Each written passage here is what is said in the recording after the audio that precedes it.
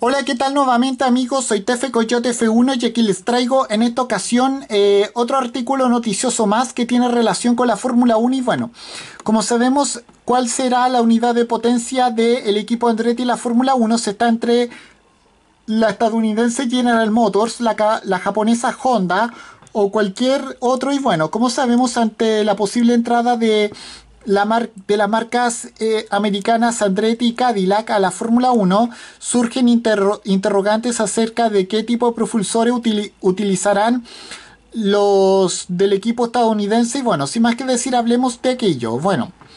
El castillo de arena de Andretti en su aproximación a la Fórmula 1 no hace más que crecer y que crecer y bueno, como sabemos eh, la escudería estadounidense de la IndyCar no consiguió aún el visto bueno de parte de la FIA para poder ingresar a la máxima categoría del automovilismo internacional tal como llevan persiguiendo más de una temporada. Sin embargo, la entidad dirigida por Michael Andretti sumó un importante socio a la operación de la mano de la marca Cadillac, filial premium, como sabemos, de General Motors, con vista a reforzar su candidatura y poder eh, llegar definitivamente como nuevo equipo independiente de las estructuras actuales. Y bueno, así junto con esta decisión de elegir un nuevo centro tecnológico en Indiana, eh, con un centro de operaciones también en, Reino Unido, eh, que precisamente... Eh, que precisamente la mayoría de los equipos de la Fórmula 1 tienen sus cuarteles centrales domiciliados allí, eh, unir esfuerzos con Cadillac y General Motors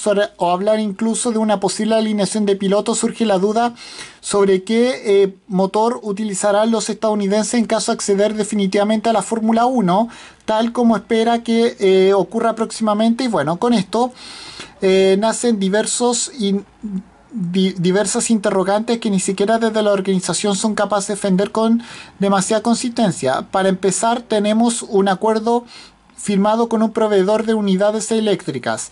Eso es lo que aseguró eh, Mark Roos, quien es el presidente de la, General, Motors, eh, en lo referente a una intención de desarrollar motores. Se entiende que sería lo de la temporada 2026, en lo que sin embargo nos inscribió para ir conociendo los detalles de lo, como motorista del nuevo reglamento y pasar a regirse por el límite presupuestario para este desarrollo que está fijado en 90 millones por temporada, por lo que se entiende que este trabajo se realizaría eh, en acuerdo con un motorista ya inscrito en tal reglamento en un pacto al que sin embargo también pretenden aportar y bueno y luego a medida que avancemos aportaremos mucha mucha de nuestra experiencia para crear cosas para el futuro también. Eso estableció el ejecutivo al frente de la automotriz multinacional estadounidense General Motors y bueno.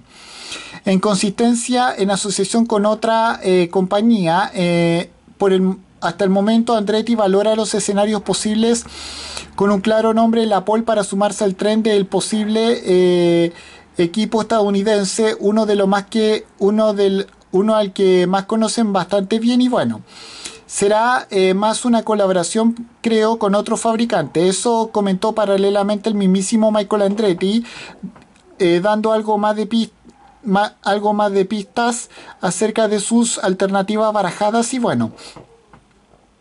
En la parte de EV obviamente tenemos una gran asociación con Honda también competimos con Honda en series como IndyCar. Eso aclara el hijo del legendario Mario Andretti acerca de una entidad que sí manifestó su interés por, por ejercer de nuevamente como motorista, aunque hasta el momento se les asociaba más con sus ex socios de Red Bull Racing y bueno, así que tenemos ese respeto y relación naturales que no es problemático en absoluto. Hablaremos sobre el motor de esto en una fecha posterior. Eso, eso estableció el máximo responsable de la escudería Andretti, dispuesto a extender más allá de la IndyCar su relación con Honda, lo que podría generar algún tipo de conflicto dado que ah, actualmente pocas cosas se consideran más importantes para vencer en la Fórmula 1 de hoy en día que el desarrollar eh, motores exclusivos eh,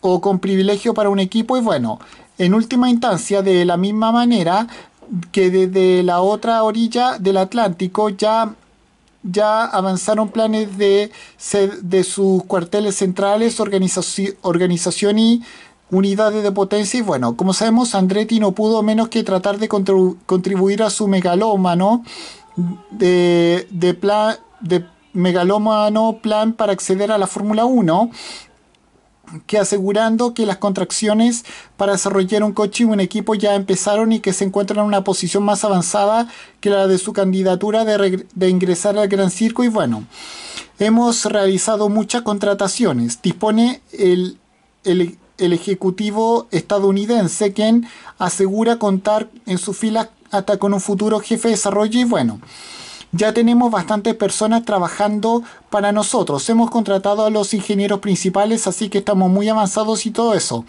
Ya tenemos a nuestro director técnico contratado y, y lo anunciaremos más adelante. Eso finaliza el mismísimo Andretti, completando un castillo de arena que por el momento se ve bastante sólido y fuerte pero a la vez también frágil mientras le siga faltando luz verde. Bueno, con esto me despido. Adiós, que fuera. Chao.